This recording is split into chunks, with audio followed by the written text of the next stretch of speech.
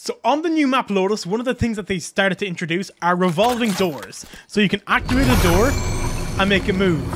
Now, this is, and I quote, this is music to a Skye main's ears. Because this wood part may be spammable with a with a high penetration weapon. But if you wanted to open the door and work around with a flash, it is quite nice. It is quite nice. That's some of the tech I'm going to be using later on.